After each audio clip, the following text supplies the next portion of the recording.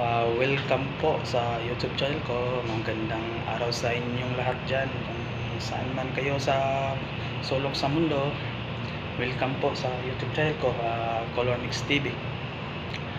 Ngayon po, may nagtatanong sa akin from Pasay City, Manila na si Aldrin Silva. Ah, ano po ba yung trabaho ng isang paint mixer? Ah, mahirap ba maging isang paint mixer?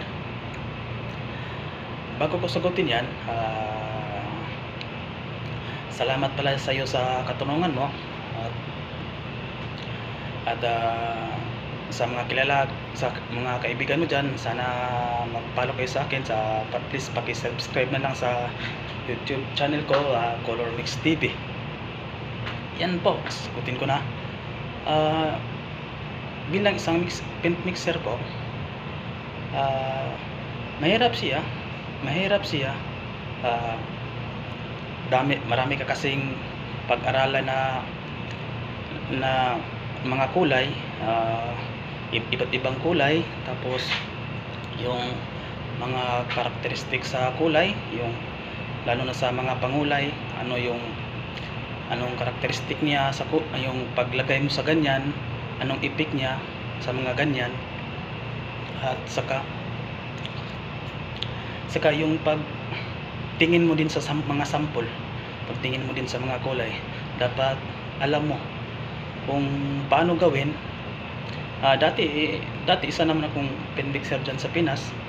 Uh, kuan lang yon ng isang pet mixer ko dyan sa export company dati dyan sa Cebu.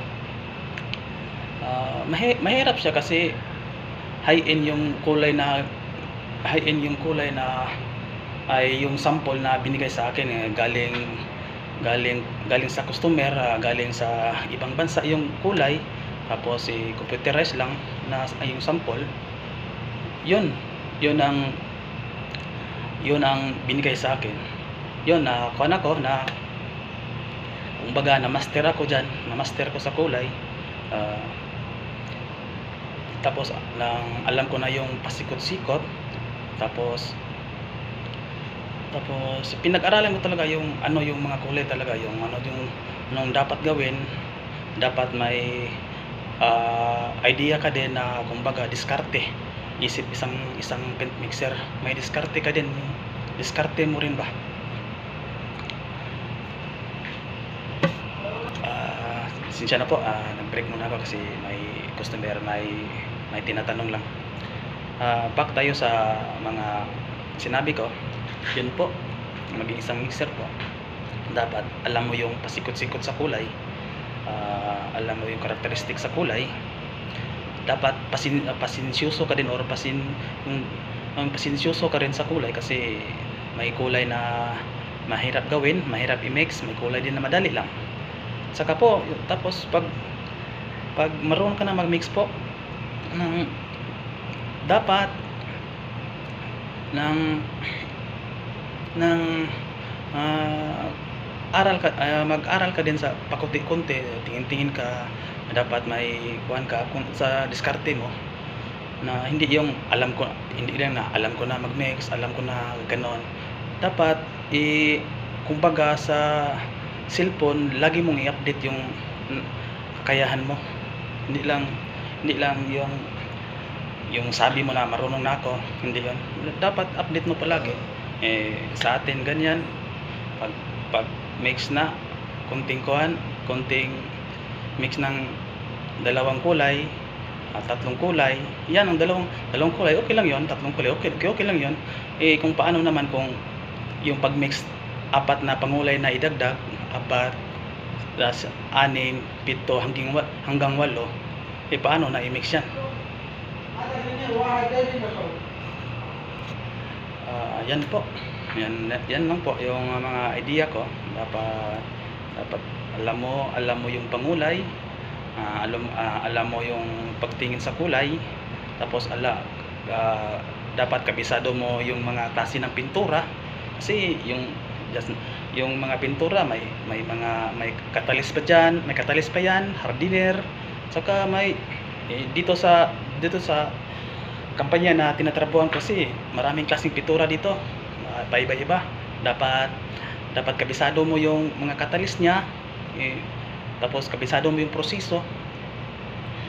Basta ma i i i, i ipakita ko din sa inyo yan ba may time ako yung ano yung mga pintura dito paano paano ba ginagawa ko tapos mga ganyan lang eh, sa atin mga hindi naman hindi ko naman na sa atin na kuan sa atin talaga sa atin diyan sa Pinas ang okay naman yung kuan ba dapat uh, uh, as a mixer diyan sa Pinas nang dapat din ng i-update mo rin yung kakayanan mo as isip mixer na ng ng magkuhan ka ng yung yung diskarte mo na na na ma-upgrade yung kakayahan mo kasi pag mga ganyan na maraming ilang pangulay na idagdag mo ilang ilang ilang ilang kulay na idagdag mo kung dalawa tatlong pangulay apat yan kung apat na yan yan may hirap-hirap na yan na kulay. Uh, lalo na kung lima, aning, pito, walo yung pangulay na idagdag yan uh, pahirapan na talaga yan. Eh, kasi ang titig, titigan mo titigan mo talaga yung sample at saka yung yung na-mix mong kulay kung ano ba talaga yung kasi walo walong pangulay na yan yung nasa harap mo. Hirap na. Dapat yan tansya talaga. Yan ang mga diskarte lang. Diskarte lang. Dapat sinsyoso ka sa pagmix ng kulay. Tapos uh, ganyan lang. Ganyan lang yung mga style yung mga kumbaga yung yung sa akin yung mga yung kunting technique lang pa hindi ko na lang yan sinabi kung ano pa yung mga technique ko. Tapos yun lang dapat may diskarte ka sariling diskarte ba? Pag mix ng kulay. Marunong kang tumingin. Ganyan lang. Ah, salamat sa iyo sa na, salamat sa iyo sa mga tanong mo. Sana uh, komportable ka sa sagot ko. Uh, kung mayroon ka pang tanong uh, paki-message paka-message lang ako. Baka matulungan kita sa ganyang paraan lang kahit malayo ako sa iyo uh, sana manonood ka palagi ng bagong upload ng video ko baka may makuha ka na na mga idea. Hindi ko naman ipinapakita yung buong buong idea ko na yung buong technique ko na ganun yung ginagawa ko. Uh, sana makatulong sa iyo ha? kasi dito sa amin uh, pahirapan yung pagkuha ng kulay sa abroad. Dito dito sa kampanya dito, dito sa kampanya ko pahirapan talaga. Da, da, marami kang marami kang dapat eh, titingnan. Kasi uh, pina ako ng dami na dami dami ng klaseng pintura na nakapaligid sa iyo pag isang pagkamali mo lang isang pagkamali mo lang sa catalyst hardener patay ka na daming yan tawag ka sa opisina ganon bakit bakit ganon bakit ano na ano nangyari sa iyo ganon dapat nakapokus ka sa talaga sa pagmimix. Uh, ako dumaan ako dumaan ako diyan isip pin fixer tapos uh, na promote ako maging isang color technician yon alam ko na yung pasikot-sikot.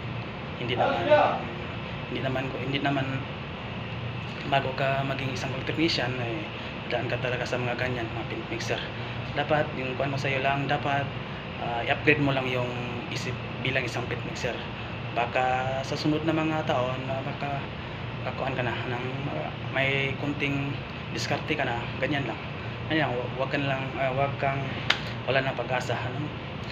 Nang upgrade mo lang yung yung kakayanan mo isip mixer dapat pasensyoso ka sa sa sa kulay uh, na may technique may may technique ka na sayo sayo lang.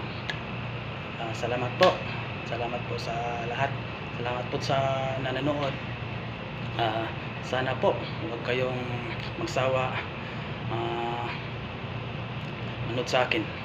Salamat po uh, sa nakasatura dyan please like and share lang po. Salamat po